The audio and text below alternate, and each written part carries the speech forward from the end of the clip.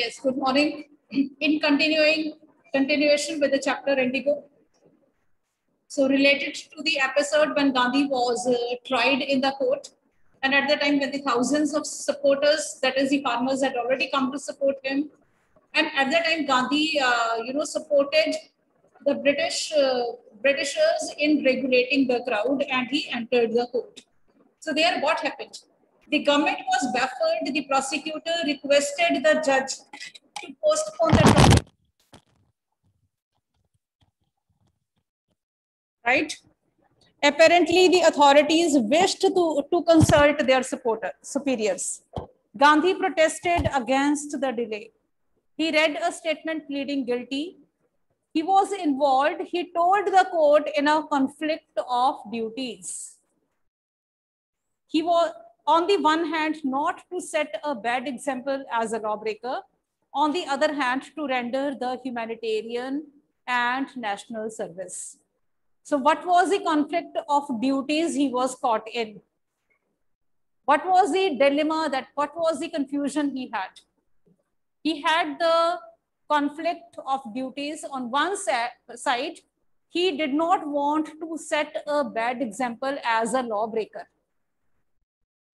And on the other hand, he wanted to serve the humanity and nation. He could do one thing.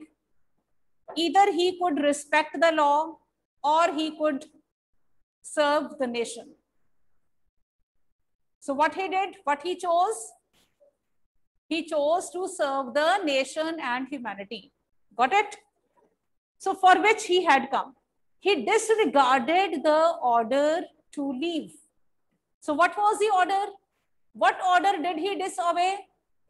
The order to leave Champaran. So what order did he leave? The order to leave Champaran he disobeyed.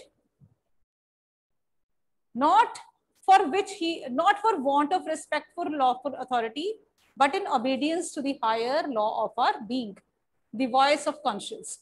He asked the penalty due.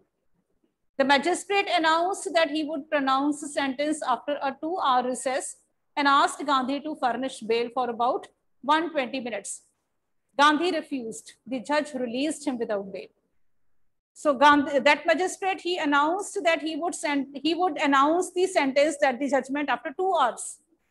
And during for and for that time being, he asked Gandhi to uh, for, go for bail. Gandhi refused to go for bail and he released him without bail. Such was the strength of Gandhi's character. Got it? When the court re reconvened, the judge said he would not de deliver the judgment for several days. Meanwhile, he allowed Gandhi to remain at liberty. So, what did the judge do? He, he said that he would not be able to give judgment for more days and meanwhile Gandhi was released without any bail. Rajinder Prasad, Brij Kishore Babu, Maulana Mazhur Haq and several other prominent lawyers had arrived from Bihar. So at this time when Gandhi was being tried in the court, then many other lawyers like Rajinder Prasad, Brij Kumar, Brij Kishore Babu and Maulana Haq, these lawyers had come from Bihar they had arrived from Bihar. They conferred with Gandhi. What would they do if he was sentenced to prison? Gandhi asked. So why? The senior lawyer replied. They had come to advise and help him. If he went to jail, there would be nobody to advise and they would go home. So what happened? Uh, these lawyers who came to Gandhi, then Gandhi asked them, like, what if he will go to the jail? They said, sir, uh, we have come to help you only. And if you only go to jail, then uh, the whole thing will come to a standstill. Nothing would happen. Then Gandhi scolded them like, this is not how a movement is run. He says, it's not that only I have to be there, the one who has to lead the things. He says, if I go for arrest, then next Rajinder Prasad would be leading the movement. And in case Rajinder Prasad is also arrested, then the next lawyer would be ready to lead or for arrest. Means they are to be, he made up a, he made, he organized the whole movement. Okay, because according to Gandhi, it, no movement is one man's show. It Gandhi made it very clear that it's not a politics. Leader is not the one who, who just highlights himself. The purpose of the leader is to go for cause, go for justice. Yes. Yes, the most important thing for this, that kind of thing is to let the movement go on. You know? So Gandhi Gandhi gave a perfect leadership to those lawyers. So what about the injustice to the sharecroppers? Gandhi demanded. The lawyers withdrew to consult. Rajendra Prasad has recorded the upshot of their consultations. They thought among themselves that Gandhi was totally a stranger and yet he was prepared to go to the prison for the sake of peasants. If they, on the other hand, being not only residents of the adjoining district, but also those who claimed to have served, they should go home, it would be shameful desertion. So how did Gandhi motivate the lawyers of Bihar? Those lawyers, including Rajendra Prasad, they discussed that if a stranger or you can say an outsider like Gandhi can come to Bihar and fight for the cause of poor farmers, then why can't we people fight for the cause of farmers? Because we people live in this very Bihar. So Gandhi inspired the lawyers through his own conduct. Gandhi did not lecture the lawyers that you should do this, you should be united and all. Gandhi showed it through his conduct. So in the end, when you people will be asked the uh, methodology with which Gandhi worked for the freedom struggle of India, then you people will be talking about this very fact like Gandhi did not advise others. Da Gandhi showed with his own example, through his own conduct. So they accordingly went back to Gandhi and told him that they were ready to follow him into jail. The battle of Champaran is won, Gandhi exclaimed. Then he took a piece of paper and divided the group into pairs and put down the order in which each pair was to quote arrest. So see the leadership of Gandhi. So when Gandhi saw that all the lawyers had were ready to do anything for the movement, then Gandhi divided all lawyers and told them in pairs they would be going for the court arrest. It's not that once when one leader is arrested, then others will also come and say, arrest us, us also. That way the whole movement will come to an end. So he organized them and guided them like how the movement is to be carried forward. Several days later, Gandhi received a written communication from the magistrate informing him that the lieutenant governor of the province had ordered the case to be dropped civil disobedience has trumped the first time in modern India. So after this, when lawyers were all ready for court arrest and everything, then Gandhi received a communication from the court that the civil disobedience movement, that the civil disobedience case against Gandhi had been dropped. So this was for the first time that somebody in India had won a case against Britishers somebody had, had been given a clean check on disobeying the Britishers. This happened for the first time in India. And it was the biggest victory for Indians. Getting? If you people are to learn, if you have to write anything like what great Gandhi did, what great things Gandhi did, the first, the biggest achievement of Gandhi was that he made the Britishers kneel down. He made the Britishers bend down for the first time before an Indian. Got it? That was the first victory of Gandhi. No one had ever done this. And how Gandhi did this? Not because of any power, not because of any weapon, but because of the truth, because of the system, because of his value. Got it? Because of his influence. And he never exerted violence. He never told a lie. He never instigated the crowd for, for, for anything else. So Gandhi and the lawyers now proceeded. Now Gandhi had won the case. So what's the significance of winning civil disobedience case? What is the what's the significance of winning civil disobedience case? Can you tell me? Civil disobedience case. Right now they have one civil disobedience. So what is the significance?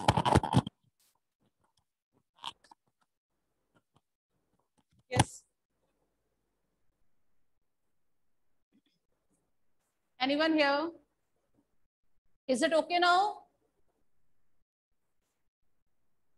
So what's the significance of civil disobedience? Okay. Children, when Gandhi won civil disobedience case, it means that Gandhi had got a clean chit to follow the case of farmers. What was civil disobedience case? That was a case where Gandhi was asked to leave Bihar. And Gandhi fought that he will not leave and he won this case. So when he won the case that he will not leave Bihar, only then now he will be able to carry on the case of farmers. Got it? So now his struggle to get justice for the farmers will begin. So Gandhi did the things systematically. Right? So Gandhi and lawyers now proceeded to conduct a far-flung inquiry into the grievances of the farmers. Now Gandhi and other lawyers. Now see, Gandhi had come all alone with Rajkumar Shukla, but now Gandhi had so many other farmers with him. Sorry, so many other lawyers with him. So Gandhi started getting into the inquiry of the farmers' cases. Depositions by about 10,000 peasants were written down and notes made on the other evidences. Documents were collected. The whole area throbbed with activity of the investigators and the vehement protest of the landlords. So Gandhi and other lawyers started getting evidences against Britishers. So the farmers, they gave documents in, in, uh, in favor of themselves or against Britishers. And during this time, the whole of Champaran was full of activity. What kind of activity? Farmers were coming to Gandhi to give him evidences. Landlords and all were, you can say, cribbing or complaining about what was happening against them. Okay. So in June, Gandhi was summoned to Sir Edward Gait, the lieutenant governor so in the month of June, Gandhi was called by Sir Edward Gait. Who was Sir Edward Gait? He was a lieutenant governor. Before he went, he met leading association, again laid a detailed plan for civil disobedience if he should not return. So before Gandhi went to meet that Sir Edward Gait, he again made big plans regarding civil disobedience movement in case their demands will not be accepted. Planning is made in advance if you want to win. Got it? So he again made the planning. Gandhi had four protracted interviews with the lieutenant governor who as a result appointed an official commission of inquiry into the indigo sharecropper situation. So Gandhi had four very long, long lasting meetings with the with the lieutenant governor. And on the basis of those four meetings with the lieutenant governor, the uh, commission, they set up a commission which would go into the inquiry or the details of the case. See the system which Gandhi followed to get justice for farmers. It's not that he just took the farmers with him and, uh, uh, and attacked the government. He went to the lieutenant governor of India, and that governor was, of course, Britisher. He forced the Britisher through his interviews that he said, okay, we will set up a commission. And now if in India somebody says, if the government says that we will set up a commission, we are not ready to listen to the commission because we think that the commission will not be impartial. But Gandhi had the faith upon the Britishers that commission cannot do the give the wrong judgment. When you are right, then how can you not believe in the righteousness? So Gandhi agreed, yes, let the commission sit, let the commission give the report, and on the basis of the report, he's, he was sure that they would get the justice. So he, see the thing, Gandhi had four meetings with the lieutenant governor who appointed an official commission of inquiry into the indigo sharecropper situation.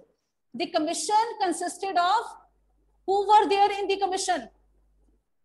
Who were there in the commission? Listen, very, you'll be very surprised to know this. The commission consisted of landlords, government officials on one side and only Gandhi on the other side. If I say that uh, if there is some dispute, we say okay चलो हम committee बना के will sort out the things committee happens to be of two two kind committees in the committee some people are are the ones who are in favour of one part and some people are there who are in the favour of other section ऐसे ही होता है ना? And here in this committee in this commission who were they're all government officials all Britishers all landlords and for the farmers who was there only gandhi. Gandhi could have protested why i be alone? Give me more people. No, these all things are going on now also in our country. So those who are fighting the cause of farmers, they always say like, there will be, there won't be impartial system. When you have the right documents, when you have this justification for your cause, then one person can fight with thousands of people. Provided you have the right documents or justice. I mean like facts should be there. Without facts, nothing happens.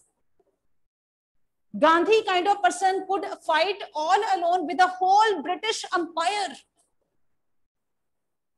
The, those who were not ours.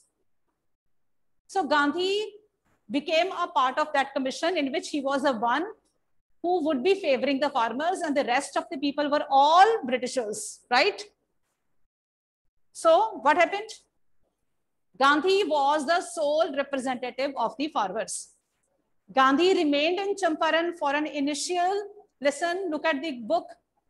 Gandhi remained in Champaran for about, for an initial uninterrupted period of seven months and then again for several shorter visits.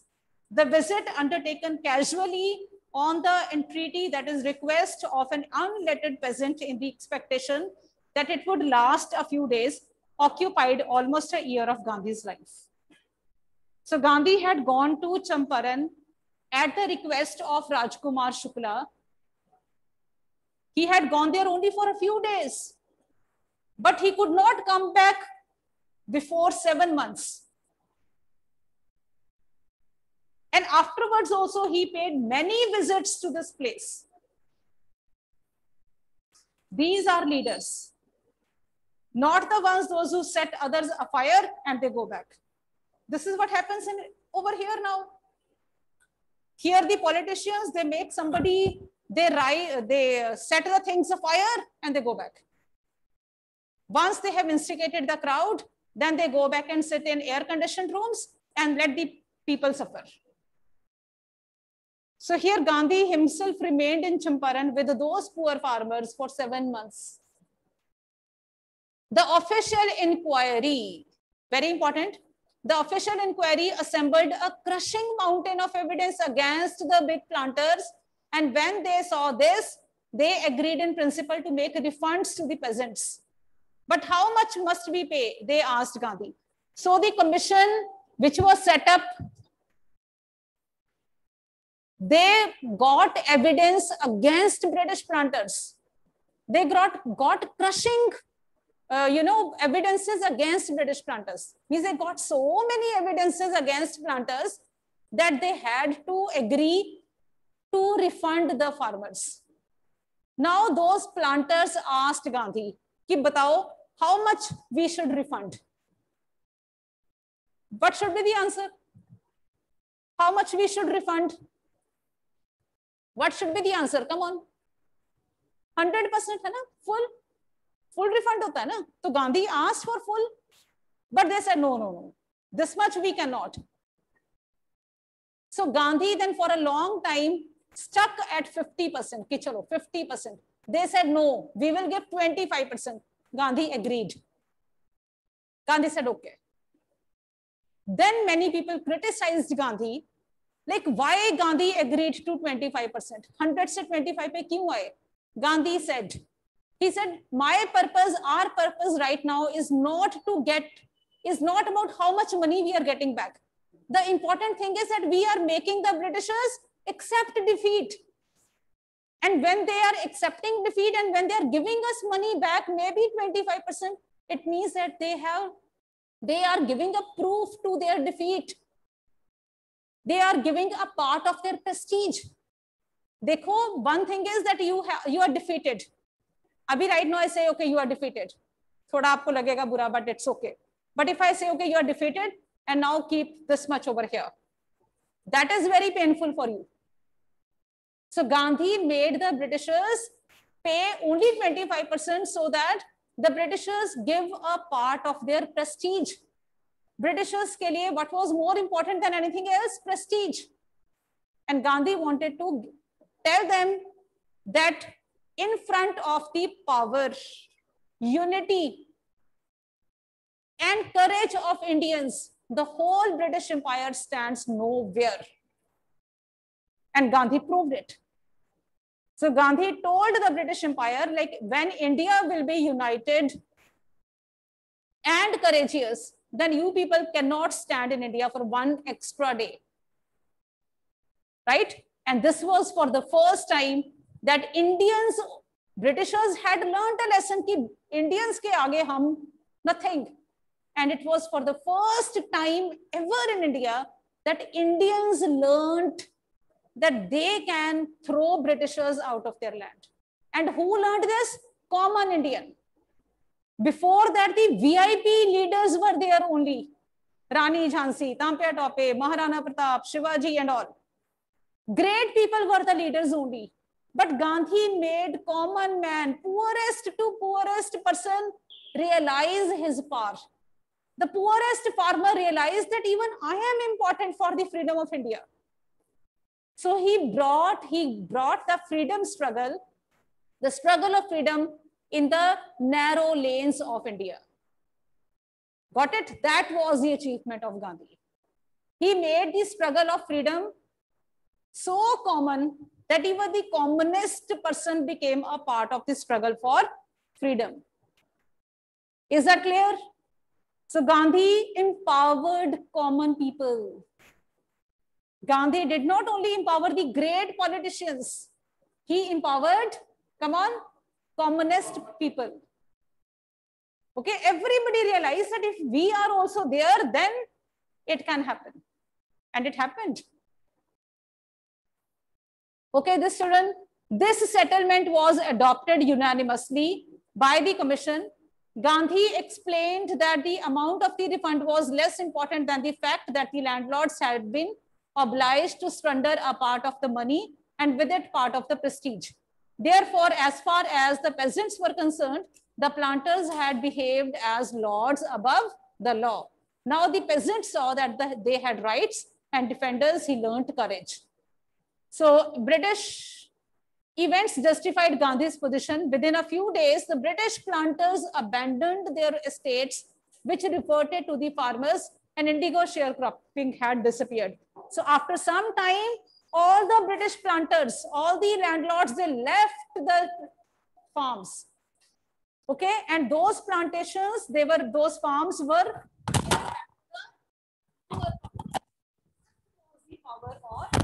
achievement of Gandhi. The poor farmer not only got justice, not only got refund, They even got the estates back for themselves. Got it? So then Gandhi never contented himself with the large political or economic solutions.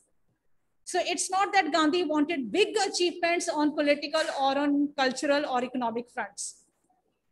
Uh, he was, he saw the cultural and social backwardness in Champaran village and wanted to do something about it. Immediately, he appealed for the teachers. So Gandhi's politics was a politics which wanted more of, you know, perfection in social and economic front. So first of all, he saw that first of all, these people in, in Champaran should be educated. So what, what kind of community, what kind of a community can prosper? Three things are required. Number one, the people of those that place should be healthy.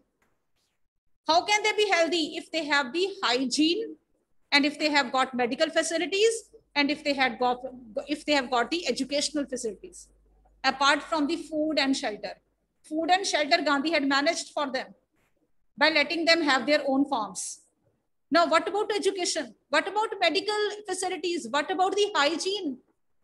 People didn't even know that they should change their clothes daily. They should uh, take bath daily. They had no sense about sewage and all. So these all things, Gandhi was a one. Even today, India is fighting for Swachh Bharat Abhiyan, where, you know, uh, you know, even uh, whatever the basic necessities are not there in, in all villages. It was then that Gandhi was talking about the basic necessities in each home. So last one and half pages left. Tomorrow we'll finish it off. Up till now, uh, finish it off. Today is your test of uh, English, Tuesday. Today's English test. And the test will be sent at which time? Five. So at five, I'll uh, test will be, I will send you people uh, do it by 6.30, okay? So the test will be sent and you people do it, okay? And up till this page, the test will be off.